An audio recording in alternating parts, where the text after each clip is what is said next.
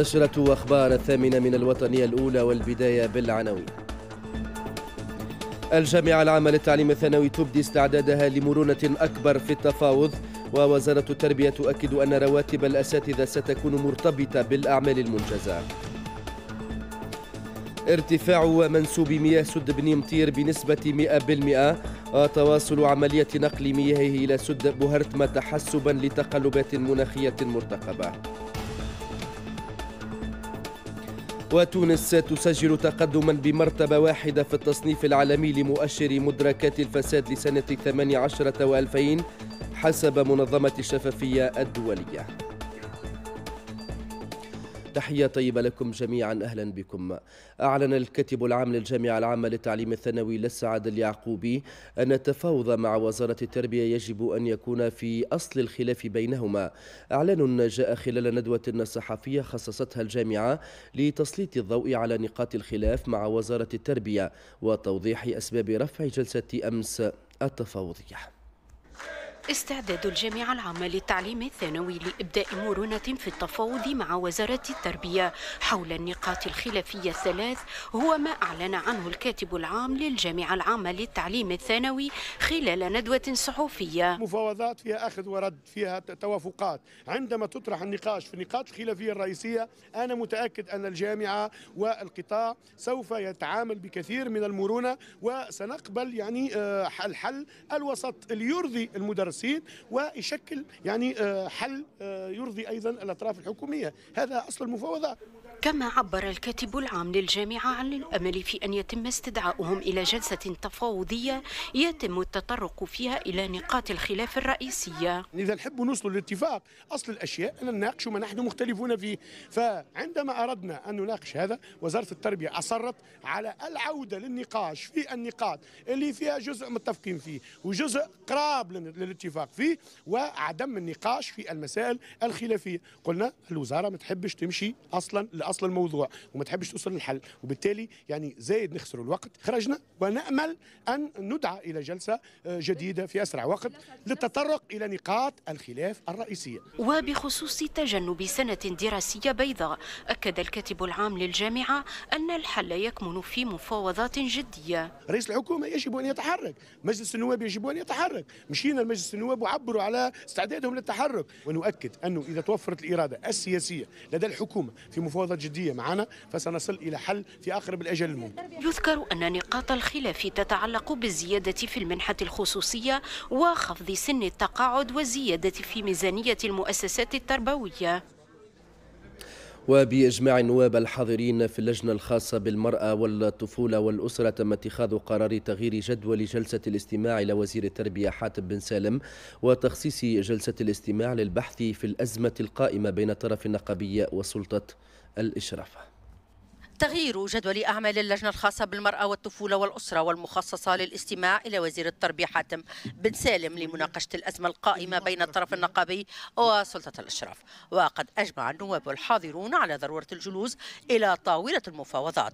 فتعددت المقترحات طالب بعض النواب بتشريك وزارة المالية ووزارة الشؤون الاجتماعية. في حين نادى آخرون بضرورة ترحيلها إلى رئاسة الحكومة لإيجاد حل لها. هناك مطلب أساسي الاساسي كان من آه، آه، أغلبية النواب هو تدخل رئاسة الحكومة. كما كان هناك مقترح تدخل لمجلس نواب الشعب سواء كان عن طريق الرئاسة سواء عن طريق لجنة التربية لحضور هذه المفاوضات أو لحلحلتها أكثر حتى نستطيع أن ننقذ هذه السنة. فإنه على رئيس الحكومة أن يتدخل بنفسه لفض هذه المشكلة.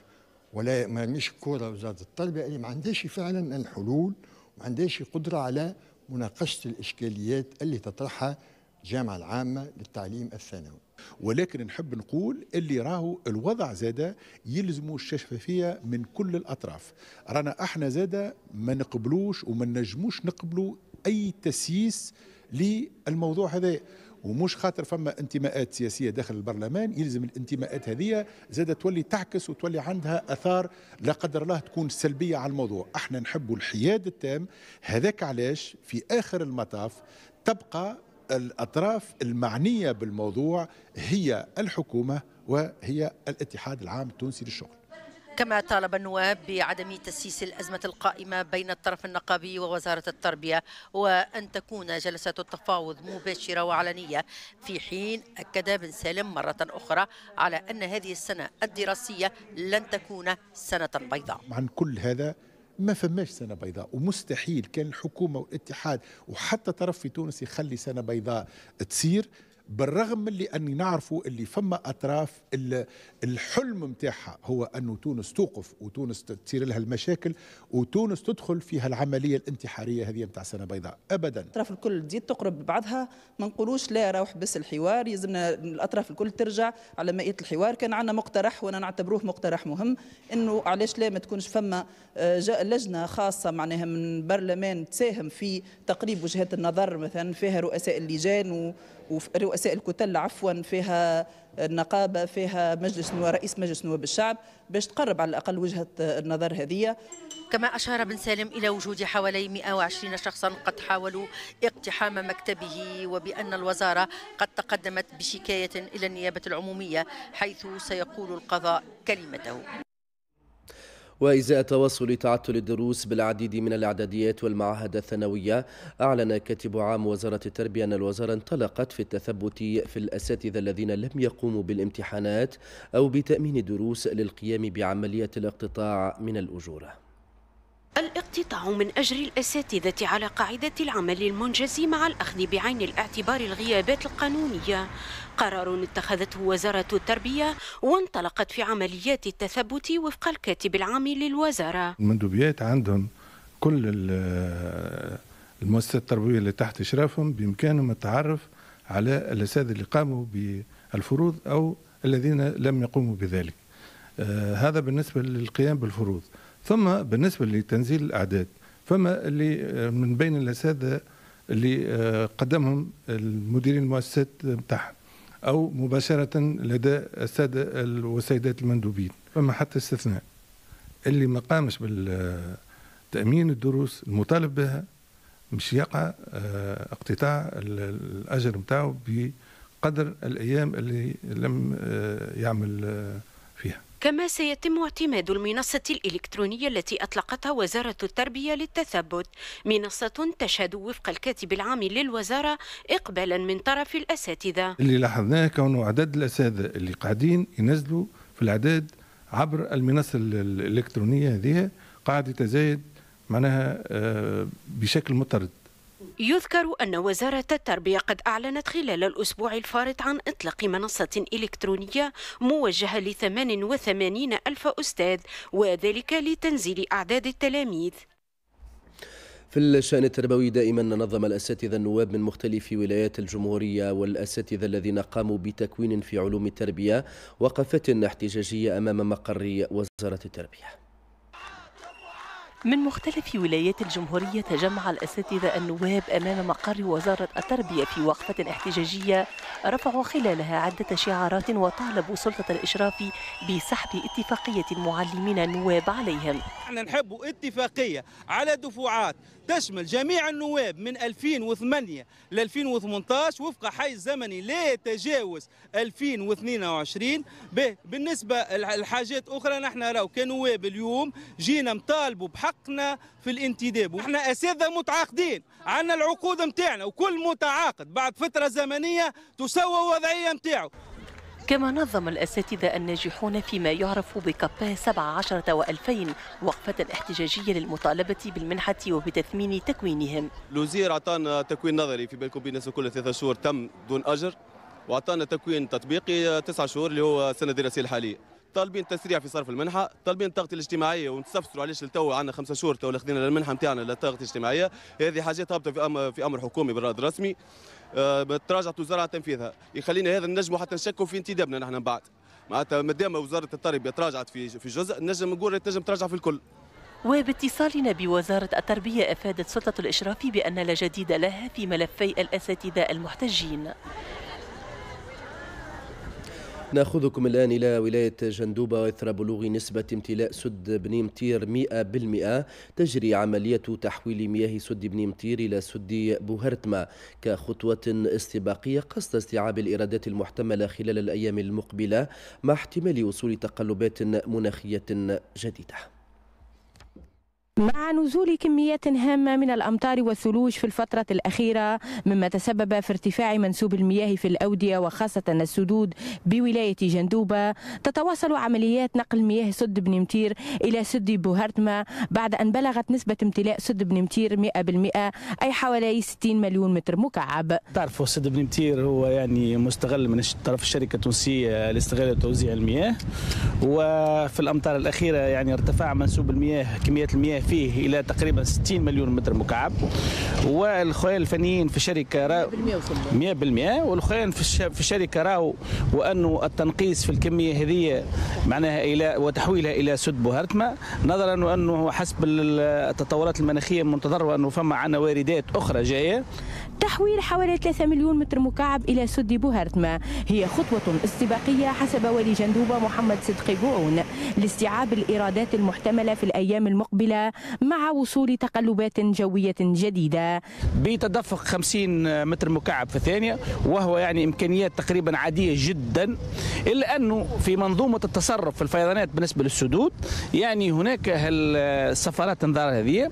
وقت اللي ياخذوا القرار باش يتم تفريغ المياه يقع اطلاق السفرات هذه لتنبيه المواطنين ولتنبيه الرعاة ما لتامين المتساكنين ولتامين المواشي وهذا يراه في كل السدود موجودة المنظومة هذه وهي يعني عادية ومعمول بها. وفي انتظار موجة جديدة من البرد قد تشهدها المنطقة في الأيام المقبلة تتكثف الجهود بولاية جندوبة لمتابعة وضعية السدود والمراقبة الحينية لارتفاع منسوب المياه بها تجنبا لكل المخاطر.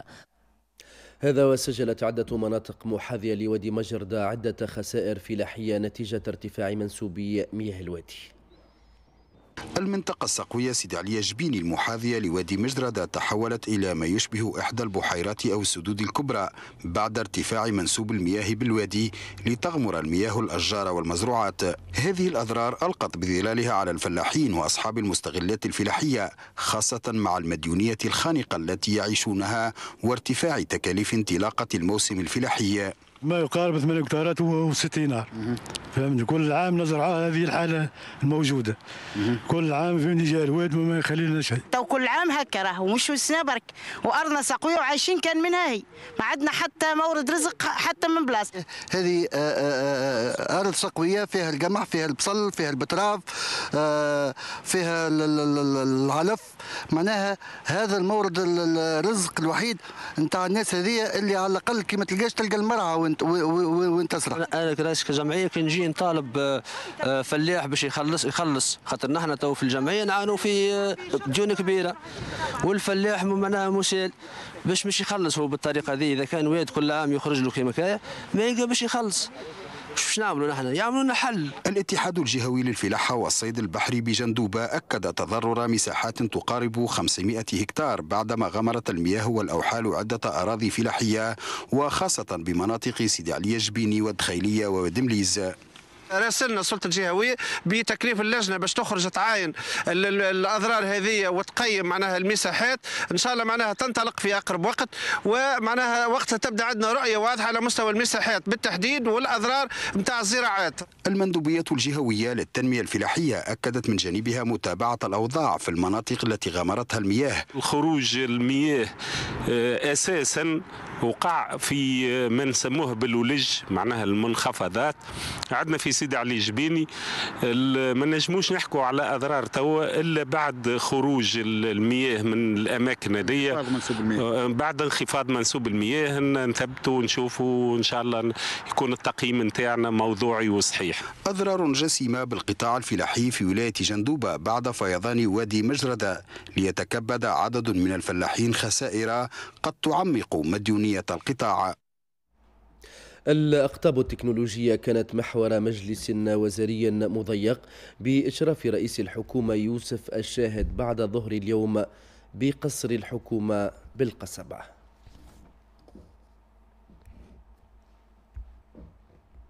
عقب الاجتماع الثالث للجنة الوطنية للتسريع في مشاريع التحول الرقمي الذي خصص للنظر في المشاريع الرقمية لكل من وزارة الشؤون الاجتماعية ووزارة الصحة تم الإعلان عن إصدار معرف وحيد لكل تونسي بداية من شهر أفريل المقبل.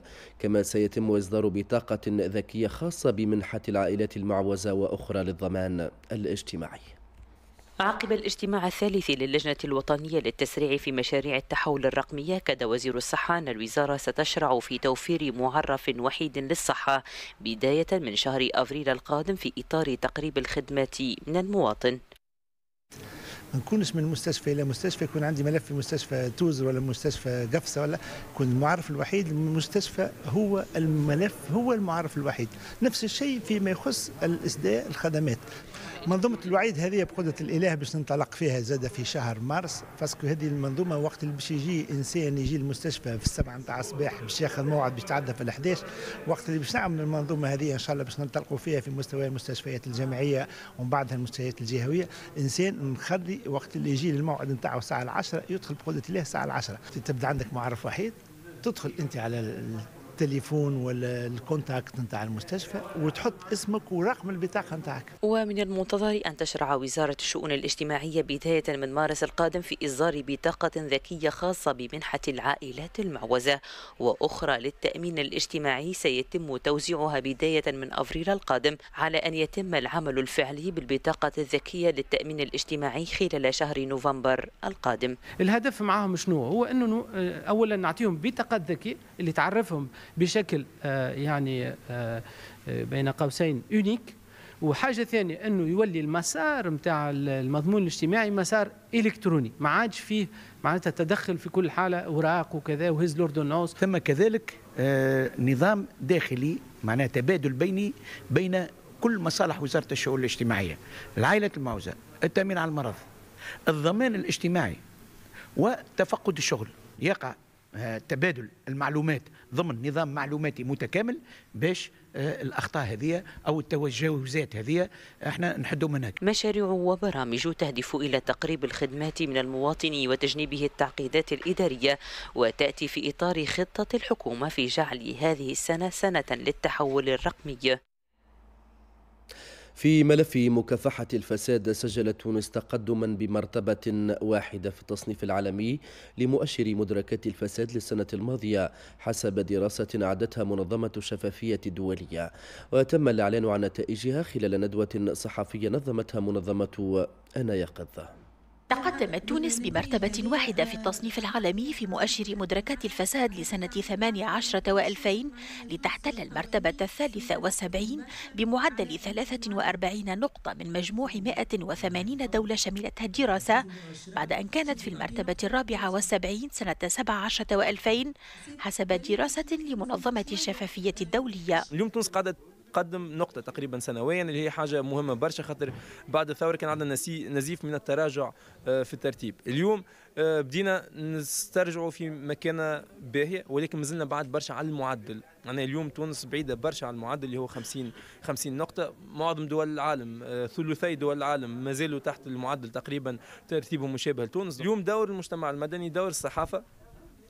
قاعد يعكس في مناخ جيد للحريات. لكن السنة ربما هي سنة البرلمان بامتياز. يعني البرلمان من خلال تمريره لمجموعة من القوانين الهامة للشفافية في القطاع العام أرسل رسالة إيجابية للخبراء والناس اللي يتعاملوا مع الدولة التونسية. ويصنف مؤشر مدركات الفساد درجات ومراتب البلدان استنادا إلى مدى الفساد في القطاع العام للبلد باعتماد مصادر مختلفة. نظام الشفافية الدولية تعتمد على سبعة مصادر لقياس آه، معناها مدركات مكافحة الفساد في تونس و السبع مصادر هذه تعتمد على الفساد في القطاع العام. والفساد في القطاع العام معناها يعتمد على اختلاس الأموال على الرشوة على التهرب الضريبي على تضارب المصالح وكذلك النفاذ إلى المعلومة. ورغم الإجراءات التي اتخذتها تونس في مجال مكافحة الفساد كتطبيق قانون التصريح بالمكاسب إلا أن مجهودات الدولة ما زالت منقوصة حسب منظمة أنا يقظ التي دعت إلى مزيد الالتزام بكشف الفساد ومحاسبة الفاسدين على الجانب التشريعي بيان سور مزيد من النصوص التطبيقية والترتيبية اللي تسهل عمل الهيئة. نجاعة وجدية أكثر في التعامل مع ملفات الفساد وحماية المبلغين من قبل الهيئة. تطبيق أكثر للشعارات اللي التزمت بها الحكومة من الحرب على الفساد. وتجدر الإشارة إلى أن الدنمارك تحتل المرتبة الأولى في التصنيف العالمي لمؤشر مدركات الفساد لسنة 18 و2000 تليها نيوزيلندا وكل من فنلندا وسنغافورة. أما تونس فقد احتلت المرتبة السابعة في بلدان الشرق الأوسط وإفريقيا. قبيل شروع الديوان التونسي هذه السنة في تنفيذ برنامج تعصير يلتزم معايير منظمة الديوانة العالمية تحتضن تونس طيلة خمسة أيام ندوة الديوان الإقليمية. العمل على تحسين الأداء الديواني عبر دورات تكوينية وندوات إقليمية في مجال التفتيش والتتبع وتوفير المساعدة التقنية الملائمة لقطاع الديوانة. مثلت أهم نقاط الندوة الإقليمية التي نظمتها المنظمة العالمية للديوانة وتحتضنها تونس للمرة الثالثة. برنامج الأهداف العامة لمجموعة الممارسات الديوانية في مجال مكافحة الغش وفي مجال الحجز التابع لمنظمة الديوانة العالمية يعمل على البحث في مجال الأدلة المتوفرة والاستقصاء والتتبع وذلك بهدف تطوير مستوى عمل الإدارات العامة للديوانة في تحليل المواد وجمع أدلة الإثبات. لقاء جمع عددا من ممثلي جمارك بعض الدول على غرار الجزائر ومصر وليبيا إلى جانب تونس في محاولة لتعزيز القدرات الديوانية ودعم كفاءاتها في مجال جمع أدلة الإثبات وإجراءات البحث لمكافحة الجريمة المنظمة وتهديدات أمن الحدود. الديوانة التونسية توا قاعدة قاعدين نمشيو في ال modernisation de إحنا قاعدين sur قاعدين نعملوا في un plan un nouveau plan stratégique de donc كل شيء ماشي في في في الحداثه نتاع الديوان عندنا الجانب الوقائي وعندنا الجانب الوقائي من التهريب وعندنا la gestion intégrée des frontières كيفاش نجموا نحميو حدودنا من من التأثيرات ومن التهديدات. توا في في في خضم التطور للديوانه التونسية. وتشرع الديوانة التونسية انطلاقا من هذه السنة في تنفيذ برنامج تعصير تستند محاوره على قواعد ومعايير المنظمة العالمية للديوانة كتعزيز الأمن وتيسير التجارة الدولية والحث على تحصيل موارد لميزانية الدولة بشكل عادل وناجع. قال رئيس الجمهورية الباجي قايد السبسي في حديث صحفي لصحيفة العرب إن حركة النهضة هي المساند الأساسي للحكومة وإن رئيسها سيدعم رئيس الحكومة يوسف الشاهد في الانتخابات الرئاسية. وحول نيته الترشح لهذه الانتخابات لم ينفي أو يؤكد هذا الأمر تاركا الفرضية لما تقتضيه مصلحة البلاد. تناول اللقاء الصحفي عددا من القضايا الداخلية والأقليمية العربية والخارجية والموعد العربي المرتقب بتونس التي ستحتضن القمة العربية. إذ يرى رئيس الجمهورية في حديثه أن حركة النهضة مسيطرة على المشهد السياسي وأنه دون دعمها لن تكون هناك حكومة وأنه تم خرق قاعدة إبداء رئيس الجمهورية رأيه في الحكومة والموافقة عليها قبل التوجه إلى قبة البرلمان. كما نقل أن رئيس حركة النهضة راشد الغنوشي سيدعم في السر رئيس الحكومة للترشح لرئاسة الجمهورية. وحول السجال المتعلق بالجهاز السري لحركة النهضة قال رئيس الجمهورية إن الشفافية تقتضي أن نكون على بينة من الطريق الذي نسير فيه. لذلك لا بد من التأكد أن هناك ذراعا سرية. وذلك عبر الاستقاء والتحقق. أما عن ترشحه للانتخابات الرئاسية من عدمه فقد ترك الباب مواربا أمام الاحتمالين بالتأكيد أنه إذا اقتضت المصلحة وجوده فحينها سيفكر في الترشح لأنه ليست لديه موانع شخصية لكن المصلحة العامة هي التي ستحدد. إقليميا اعتبر قائد السبسي أن تونس تعمل لأجل عودة الدولة الليبية عبر طريق ليبي ليبي ودون تدخلات خارجية عقدت الأوضاع لأن لديها معاملات كثيرة معها وتضررت بسبب الخطر الإرهابي. ومضى في التأكيد أنه أعاد المياه إلى مجاريها مع عدد من الدول العربية بعد أن كانت تونس في قطيعة معها. وأنه يرى في القمة العربية جمعا للصفوف وتونس لا تملك مواقف سلبية ضد سوريا أو أي كان. وبالتالي فإن القرار الذي ستعتمده الجامعة العربية بشأنها ستعتمده تونس. وفيما يخص العلاقات الخليجية أفاد أنه يجب أن تعود ومعها دور مجلس التعاون الخليجي ليساهم في جمع الصف العربي وهو ما ستعمل القمة العربية عليه.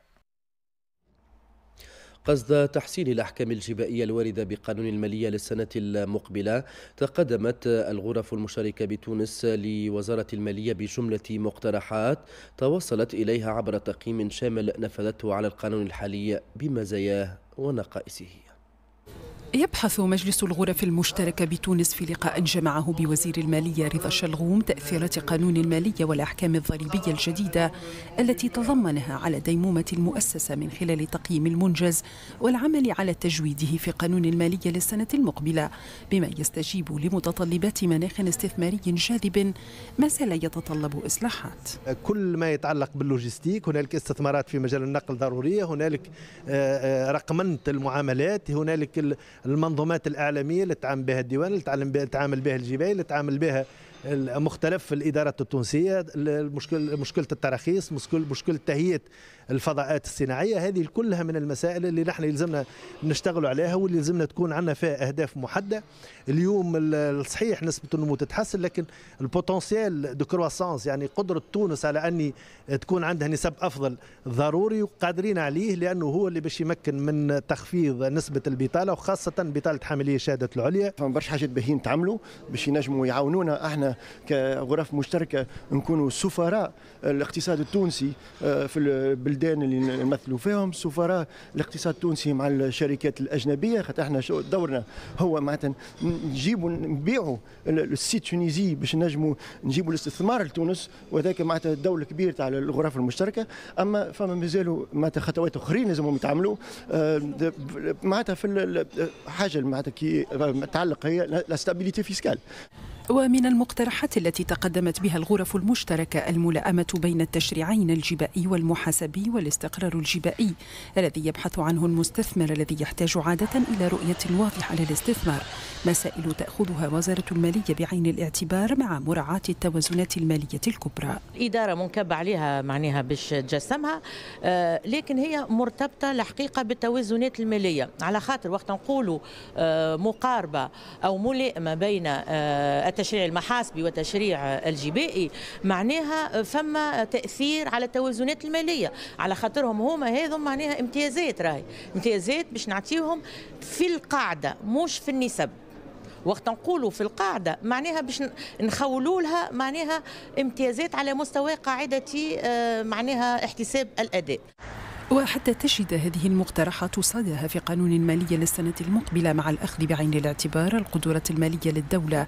اقترح وزير المالية أن تعرض في ماي القادم في لقاء ثان لتضمينها ومقترحات هياكل أخرى في المشروع التشاركي. وقد أكد خبراء في المجال الاقتصادي والاجتماعي خلال يوم دراسي نظمه مركز الدراسات والبحوث الاقتصادية والاجتماعية بالتعاون مع مؤسسة هانس سايدل الألمانية.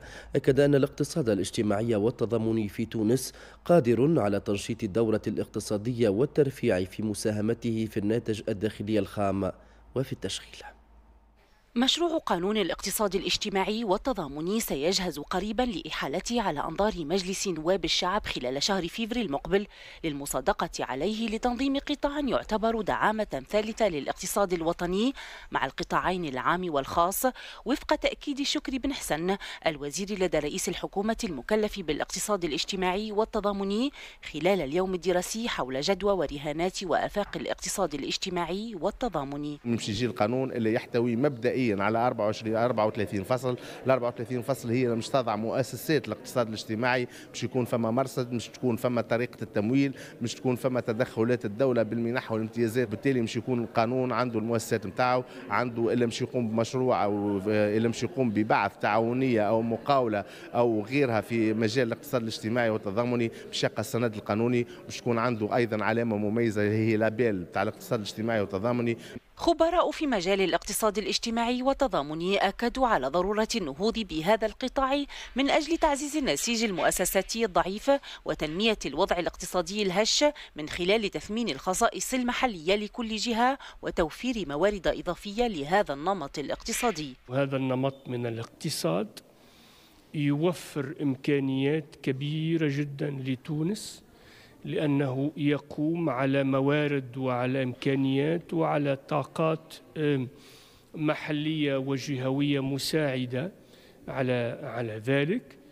ويمكن أن يفعل الديناميكية التنموية المحلية والجهوية. فيه جانب من الشراكة بين القطاع العام والقطاع الخاص وبالتالي ظهر هذا القطاع الاقتصادي الاجتماعي والتضامني في يتمثل في مجموعة من الأنماط والهياكل مثل الجمعيات مثل التعاونيات مثل التعاضديات الشركات التعاونية المقاولة الاجتماعية السياحة التضامنية السياحة البديلة مجموعة من الآليات الأنماط الجديدة في المقاولة وبعث المشاريع والتنمية.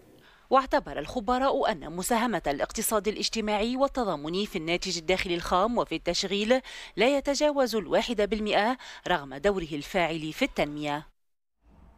صدق مجلس نواب الشعب اليوم على الباب الأول من القانون الأساسي من ميزانية الدولة والمتعلق بموارد الدولة وتكاليفها والباب الثاني المتعلق بحسابات الدولة. المصادقة جرت في ظل غياب ملحوظ لنصف أعضاء البرلمان تقريبا وتعثر سير الجلسة في مناسبتين. الاستثناء هو انطلاق الجلسات العامة في موعدها أما القاعدة فهي تأخرها لساعات بسبب تغيب بعض النواب. الأمر الذي أصبح لافتا وألقى بثقله على سير الجلسات وأصبح غير طبيعي وفق النائب الأول لرئيس مجلس نواب الشعب. المرجو من السادة الزملاء التفضل بالالتحاق بقاعة الجلسة. أذكر بأن الحضور وجوبي ولا أعتبر من المنطق أن نسجل الحضور ثم نغادر قاعة الجلسة. ليس طبيعيا. تستأنف الجلسة بتأخير ناهز الساعتين لتتوقف أشغالها مجددا بعد أقل من ساعة لعدم اكتمال النصاب اللازم. سيد الرئيس نطلب خمس دقائق رفع الجلسة لتنظيم الأمور. أنا كنت سأدعو كذلك رؤساء الكتل للالتحاق بالمكتب المجانب حتى نعالج هذه الظاهرة المرضية التي أصبحت تعطل أعمالنا. ترفع الجلسة خمس دقائق. الجلسة نتاع اليوم منطقيا تنطلق التسعه انطلقت ل 11 غير درج. معناها المصداقية نتاع البرمجة ما عادش فما مصداقية. قانون الميزانية اليوم هذه الجلسة الخامسة وما يقعش معناها توفير النصاب. المسؤوليه تحملوها نسكل لأنه خلينا نكونوا صرحاء لأنه قلنا أنه لابد من مراجعة برشا نقاط خاصة في علاقة بالنظام الداخلي في علاقة بالحضور. الأغلبية ما وفرتش العدد الكافي باش تعدي قانونها لانهم ما نعرفش عليهم. أما بالنسبة لنا إحنا كتلة الجبهة الشعبية حاضر 12 على 15 الغيابات تمس جميع الكتل. وهذا تصرف غير مقبول. من جميع الكتل. تفضلوا شوفوا الكوتا نتاع كل وعندكم بطاقة حضور بالتالي شوية تحمل مسؤولية من الساده النواب.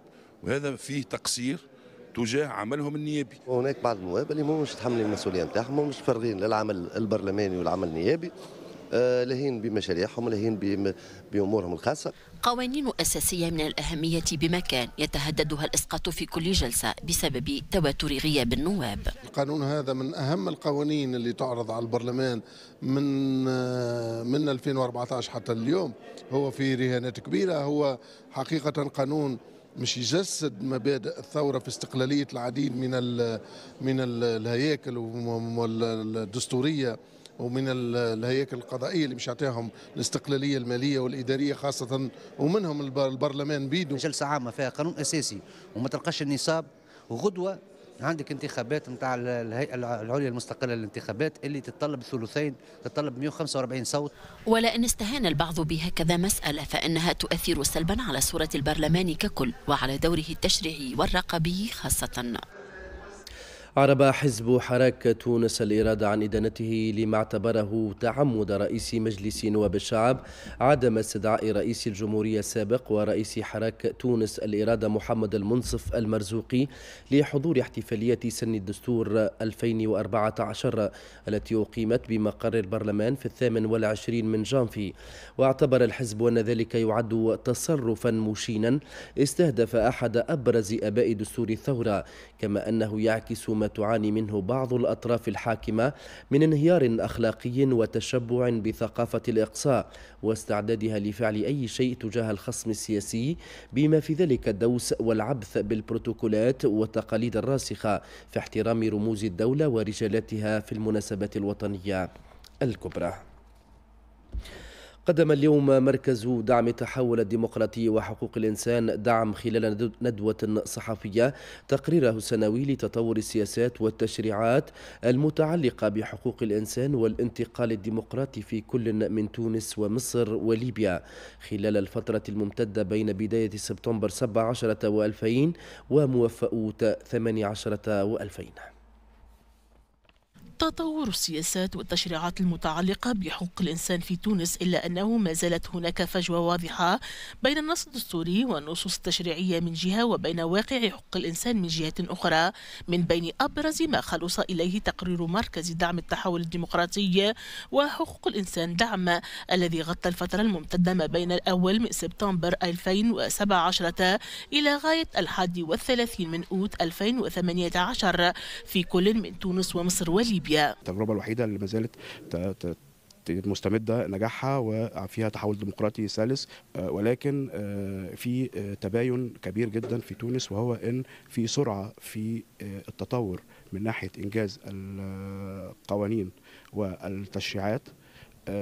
ولكن في بطء في تنفيذ تلك القوانين. المرحلة الأخيرة ابتدى يكون في اهتمام بالحقوق الاقتصادية والاجتماعية. الفترة الزمنية القصيرة هذه صار المصادقة على عدة قوانين في تونس. الانتخاب بالمجالس الإقليمية والمحلية فيما يخص المحليات هذا زيد زيد مهم في تونس. كما أشار التقرير إلى فشل نواب البرلمان التونسي في انتخاب أعضاء المحكمة الدستورية وهو ما يتسبب في تأخر المجلس النيابي في إنجاز المهمات الدستورية المنوطة بعهدته في تركيز المؤسسات القضائية الدائمة. أما في مجال حرية الصحافة والتعبير سجل التقرير أن السياسة العامة للدولة لم تشهد تقدما ملحوظا خصوصا فيما يتعلق بحماية الصحفيين حيث لاحظت وحدة الرصد بمركز السلامة المهنية التابعة للنقابة الوطنية للصحفيين التونسيين ارتفاعا في عدد حالات المنع من العمل الصحفي خلال فترة التقرير وبلغت الاعتداءات الموثقة من جانب وحدة الرصد عشرات الحالات. رئيس هيئة مكافحة الاتجار بالبشر قالت إنه 50 حالة رصدتها أو 50 ملف نتاع التجار بالبشر أو نتاع استغلال جنسي واقتصادي جاي للهيئه المنظمه التونسيه لمنع التعذيب قال قال خمسة حالات نتاع تعذيب أما مش أكيد تعذيب. هو موت مستراب يعني مش أكيد تعذيب. أما التعذيب مازال حسب الهيئة الوطنية تعذيب مازال لكن ماهوش بصفة منتظمة يعني ماهوش سياسة نتاع دولة. التقرير السنوي لمركز الدعم اعتبر أن الطريق في كل من تونس ومصر وليبيا ما زال طويلا في مجال حقوق الإنسان والديمقراطية وليس هناك أي بلد منها يمكن القول إنه يحترم حقوق الإنسان بشكل كامل. بقيمة تقارب خمسة ملايين يورو وفي إطار دعم تعاون تونسي سويدي وقعت اليوم بمقر وزارة الشؤون المحلية والبيئة اتفاقية تنفيذ مشروع دعم الحوكمة المحلية الهادف إلى مرافقة مسار اللامركزية الجديد في تونس. تم بمقر وزارة الشؤون المحلية والبيئة توقيع اتفاقية تنفيذ مشروع دعم الحوكمة المحلية. مشروع ممول بقيمة 4.9 مليون أورو ويندرج في إطار برنامج العمل التونسي السويدي في مجال الحوكمة المحلية واللامركزية لسنوات 18 و2000 22 و2000 هذا شرف كبير لنا لإرساء مشروع يعنى بالتعاون التونسي السويدي في علاقة بدعم الحوكمة المحلية كما أن هذا المشروع يلعب دورا هاما في دعم الديمقراطية C'est un chantier très important pour la démocratie. وإن شاء الله تكون الكونفنسيون هذه هي بداية للعمل خاصة على المواضيع البيئية اللي هي أصبحت معناتها ما نقولش هاجس أصبحت من المواضيع الأساسية في العمل نتاعنا الأهمية نتاعها هي ماهيش استثمارات بقدر ما هي التكوين و إعداد الخبرات تتبادل الخبرات بين البلدان وكذلك نشر ثقافة الحوكمة المحلية. هذا الأساس نتاعها ليست هي استثمارات بقدر ما هي تكوين والعمل على دفع القدرات لتسيير البلديات والجماعات المحلية بصفة عامة. اليوم نلقاو كيف كيف عنا تمكين آخر للمستشارين والمستشارات للبلديات في كيفية الانتقال من في الحوكمة من المركزي إلى اللامركزي. هذا الموضوع اللي ممكن اليوم فيه جدل كبير. ممكن اليوم نفتقدوا النصوص الترتيبية ولابد أنه نبداو ونساهموا في تمكين مختلف البلديات في في في هذه الحوكمة. هذا المشروع يهدف إلى مرافقة مسار اللامركزية ويرتكز على أربعة محاور منها دعم الإطار القانوني والمؤسساتي للامركزية والمالية المحلية. كذلك يهدف هذا المشروع إلى دعم الإطار المؤسساتي ومرافقة مسار اللامركزية إلى جانب دعم آليات المحاسبة والمالية للجماعات المحلية فضلا عن دعم قدرات الجامعة الوطنية للمدن وتحسين الخدمات الموجهة للبلديات. هذا وأكد الطرفان إثر توقيع مذكرة التفاهم على مزيد دعم التعاون التونسي السويدي في مجالات أخرى لمرافقة البلديات لترسيخ ثقافة الحوكمة المحلية. دوليا أكد رئيس الوزراء الفلسطيني رامي الحمد الله اليوم أنه قدم استقالته واستقالة حكومته التي يقودها للرئيس محمود عباس بما يشكل ضربة لجهود المصالحة المتعثرة مع حركة حماس التي تسيطر على قطاع غزة. وجاء في بيان رسمي للحكومة بعد اجتماعها الأسبوعي أنها ستواصل تأدية مهامها لحين تشكيل حكومة جديدة. لقي شخصان على الأقل حتفهما وأصيب خمسة آخرون بجروح في انفجار سيارة عند محطة وقود قريبة من مقر وزارة البترول وسط العاصمة الصومالية مقديشو. وأوضح مساعد محافظ إقليم بنادر في الشؤون الأمنية أن تحقيقا انطلق فيما صنف اختراقا لنقاط أمنية بالمنطقة.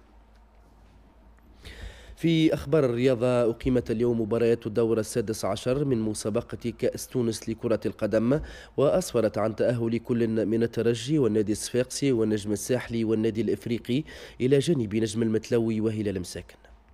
لم تسجل مباريات الدفعة الأولى من الدور السادس عشر من كأس تونس مفاجآت تذكر وتمكنت الأندية الضيفة من تحقيق التأهل. فبأولمبي جابس حل الترجي الرياضي ضيفا على مستقبل جابس في مواجهة تطلبت المرور للأشواط الإضافية بعد نهاية وقتها الأصلي بالتعادل السلبي. قبل أن يحسمها فريق ببسويقة لصالحه بفضل هدف أنيس البدري وذلك في الدقيقة الثالثة من الفترة الإضافية الأولى ليبلغ الترجي ثمن النهائي وفي مباراة ثانية اقتطع النادي الصفاقسي بطاقة عبوره بصعوبة أمام مضيفه مستقبل المرسى إذ انتظر نادي عاصمة الجنوب حتى الدقيقة الرابعة والثمانين ليتمكن من الوصول لشباك النصر شعبيا عبر فيرس شوات. كما تمكن هلال مساكن من العودة بورقة التأهل من ملعب فريق الزيتون الرياضية بشماخ إثر الفوز عليه بهدفين لهدف. أصحاب الضيافة تقدموا بهدف أول سجله عزين الكيلاني في الدقيقة الثانية والأربعين إلا أن الضيوف تمكنوا من تسجيل هدفين متتاليين عن طريق كل من رامي الحرسال من ضربة جزاء وحسام المدنيني ليتأهلوا للدور المقبل. من جهته تخطى النجم الساحلي عقبة النجم العلوي بهدف محمد أمين الشرميتي وعاد النادي الإفريقي لسكة الانتصارات من بوابة الأهلي الصفاقسي من خلال ثنائية غازي العياري ويوسف العياشي. كما قاد محمد مهدي مرعي فريقه نجم المتلوي للتأهل بتسجيله هدف الفوز على سبورتينغ بناروز بلغ المنتخب القطري نهائي كأس الأمم الأسيوية لكرة القدم إثر فوزه العريض على المنتخب الإماراتي المستضيف بأربعة أهداف دون مقابل في لقاء نصف النهائي. وتحققت رباعية القطريين عبر كل من بوعلام خوخي في الدقيقة الثانية والعشرين والمعز علي في الدقيقة السابعة والثلاثين وحسن الهيدوس قبل النهاية بعشر دقائق وحامد إسماعيل في اللحظات الأخيرة. وستلاقي قطر في المباراة النهائية منتخب اليابان يوم الجمعة المقبل. إلى التذكير بالعناوين.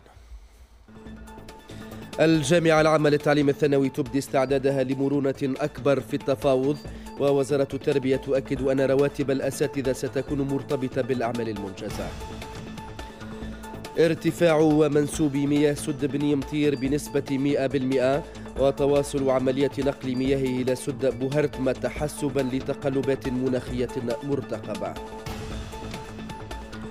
وتونس تسجل تقدما بمرتبة واحدة في التصنيف العالمي لمؤشر مدركات الفساد لسنة 18 و2000 حسب منظمة الشفافية الدولية.